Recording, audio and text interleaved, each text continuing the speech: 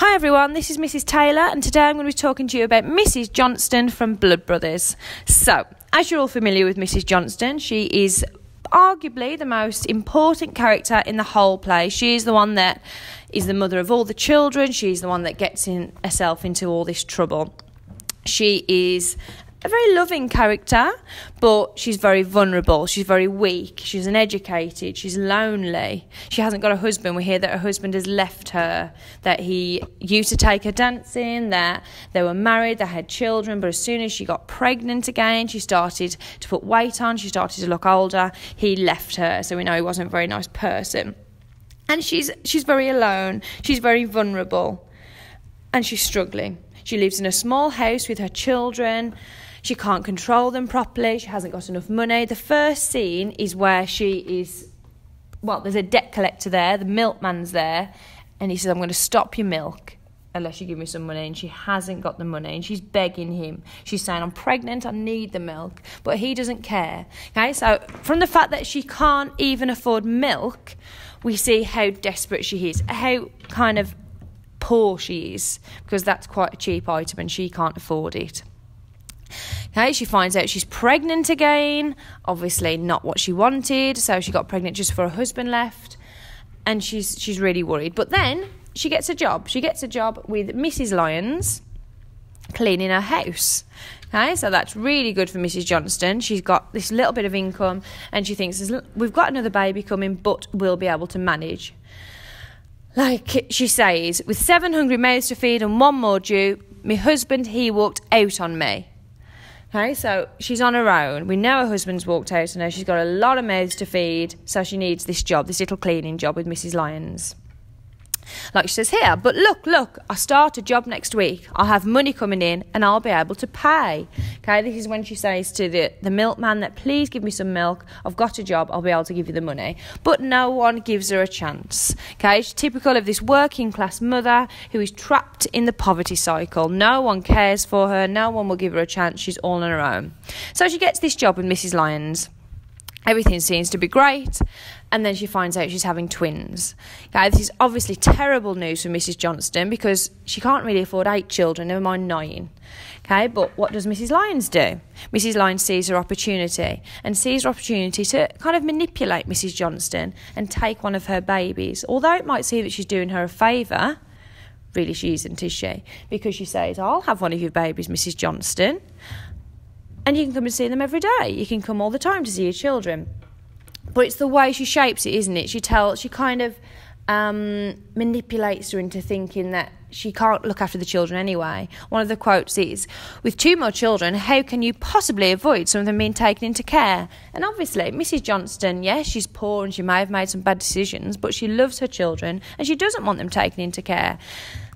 So, Mrs. Lyons wins. Mrs. Lyons she well she agrees to take one of the babies and Mrs. Lyons makes Mrs. Johnstone swear in the Bible. Now, Mrs. Johnstone is very superstitious. So as soon as Mrs.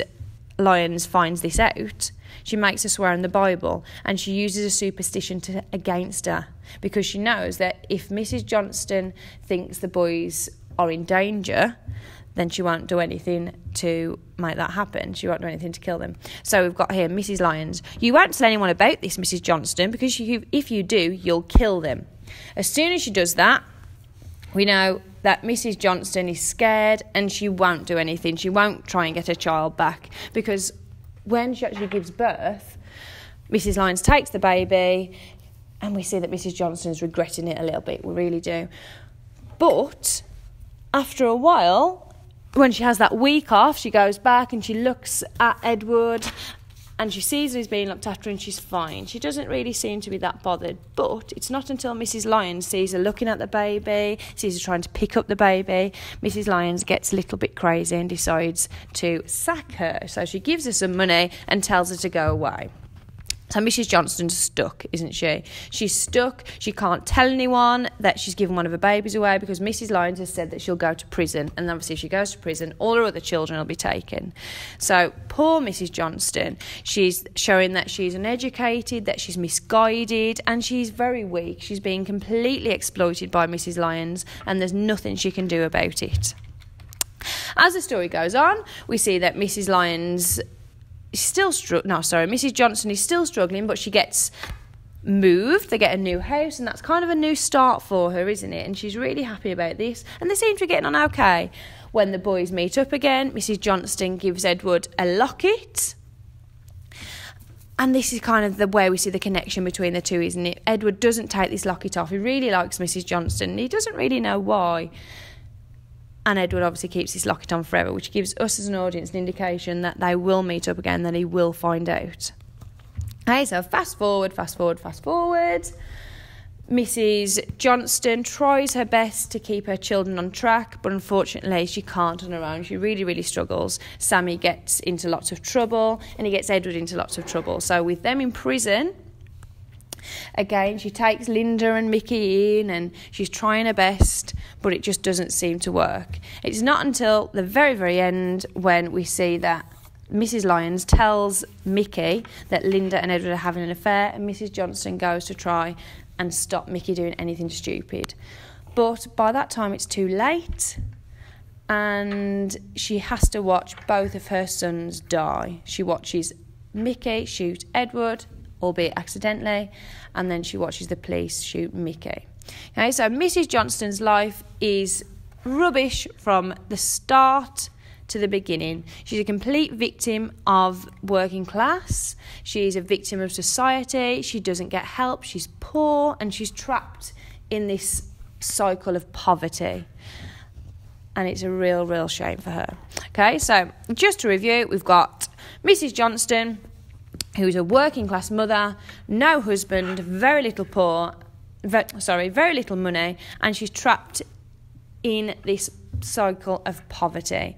We always feel sorry for Mrs. Johnstone, even though the decisions the, the decisions she makes maybe we don't agree with, but she does them out of love and she does them because she's misguided. Okay, so that is about it for Mrs. Johnstone. Really, really quick overview of her. Obviously, there's much more to Mrs. Johnstone, so you can go on YouTube, have a look at some videos there. You can have a look in the um, revision books. Make sure you've got your quotes from Mrs. Johnstone and you make sure you know everything about this character. Okay, thanks for listening. Good luck, Year 11.